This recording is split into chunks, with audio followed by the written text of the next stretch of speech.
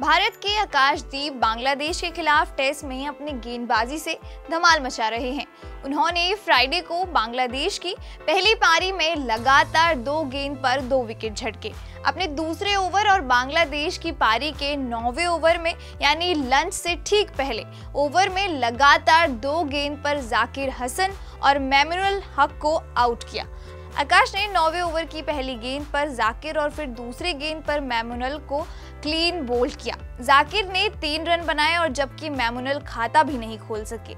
आकाशदीप का ये सिर्फ़ दूसरा टेस्ट मैच है। उन्होंने इसी साल फरवरी में इंग्लैंड के खिलाफ डेब्यू किया था और अपनी गेंदबाजी से इंग्लिश टीम को खूब परेशान किया था। उनका अंतर्राष्ट्रीय स्तर पर शानदार प्रदर्शन जारी है। हालाँकि आकाशदीप के लिए ये सफ़र इतना आसान बिल्कुल नहीं था। आइए जानते हैं उनके संघर्ष की कहानी को। 27 साल के आकाशदीप ने इंग्लैंड के खिलाफ इसी साल फरवरी, मार्च में पाँच टेस्ट मैचों की सीरीज़ के चौथे मुकाबले में उतरते ही कमाल कर दिया था। उन्होंने इंग्लैंड की पहली पारी में शुरुआती तीन विकेट लेकर धमाल मचाया था। आकाशदीप को अनुभवी तेज गेंदबाज जसप्रीत बुमराह की जगह खेलने का मौका मिला था। आकाशदीप ने कप्तान रोहित शर्मा के भरोसे को सही साबित किया और यादगार प्रदर्शन किया। आकाशदीप के लिए, राष्ट्रीय टीम के लिए खेलने का सफ़र आसान बिल्कुल नहीं था।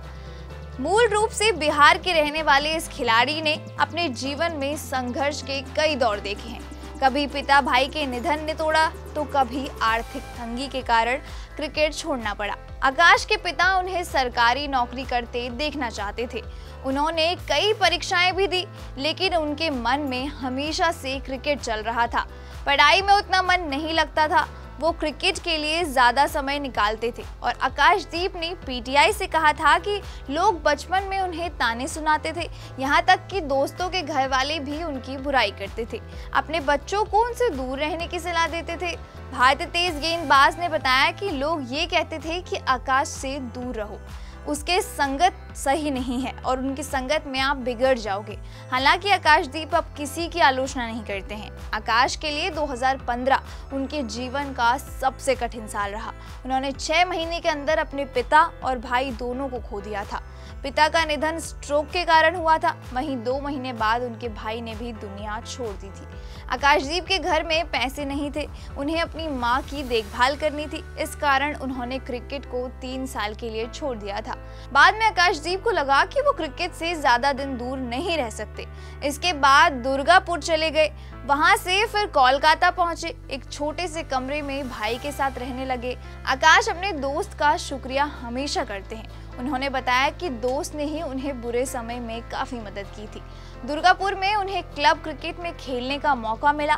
टेनिस गेंद की क्रिकेट ने उनकी खूब कमाई हो जाती थी। दुर्गापुर में चाचा ने भी काफ़ी मदद की। उन्होंने आकाश को मुश्किलों से बाहर निकाला।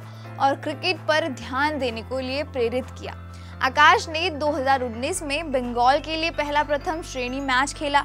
उसी साल लिस्ट ए और टी फॉर्मेट में भी डेब्यू का मौका मिला। अंतर्राष्ट्रीय क्रिकेट में एंट्री से पहले आकाश ने बंगाल के लिए बत्तीस टॉप लेवल मैच खेले हैं।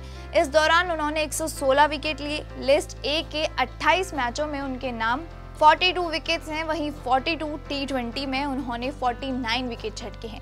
आकाश आईपीएल में विराट कोहली की टीम रॉयल चैलेंजर्स बेंगलुरु यानी आरसीबी के लिए खेलते हैं। उन्होंने टीम के लिए आठ मैचों में सात विकेट लिए हैं। आकाशदीप ने चिपॉक में बल्ले से भी कमाल किया है।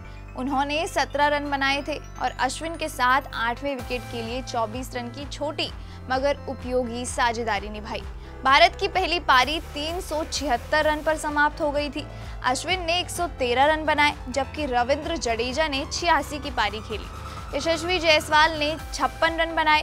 बांग्लादेश की ओर से हसन महमूद ने पाँच विकेट लिए, जबकि तस्किन अहमद के नाम तीन विकेट रहे। ऐसी और भी अपडेट्स के लिए देखते रहिए क्रिकेट केसरी।